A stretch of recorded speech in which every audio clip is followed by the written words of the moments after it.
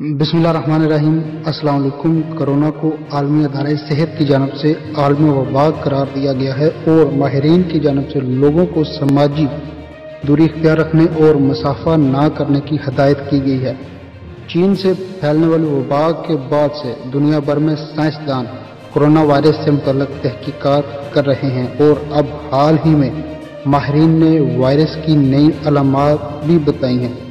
برطانوی ادارے کے ماہرین کا کہنا ہے کہ ذائقہ محسوس نہ ہونا، جبکہ سونگنے کی حص ختم ہو جانا بھی وائرس کی ابتدائی علامات ہو سکتی ہے۔ ماہرین کا کہنا ہے کہ سونگنے کی حص ختم ہونا انفیکشن کی علامات ہو سکتی ہے، کیونکہ سانس کے وائرل انفیکشن میں بھی سونگنے اور ذائقے کی حص متاثر ہوتی ہے۔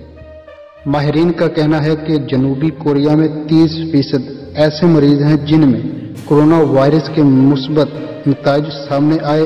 ان مریضوں میں سونے اور ذائقہ محسوس کرنے کی حص متاثر تھی۔ ماہرین کا کہنا ہے کہ کرونا کے مریضوں میں تیز بخار، خشک کھانسی، سانس لینے میں دشواری کے ساتھ ساتھ سونگنے اور ذائقہ محسوس کرنے کی حص متاثر ہونے کی علامات بھی ظاہر ہو سکتی ہیں۔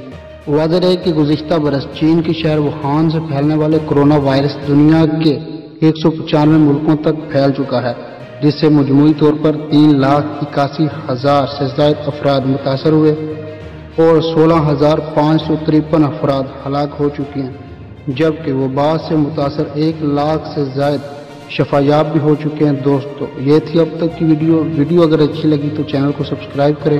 ویڈیو کو لائک کریں، دوستوں کے ساتھ شیئر ضرور کریں اور کمنٹ باکس میں اپنی رائے کا اظہار دینا مت بولیں شکریہ۔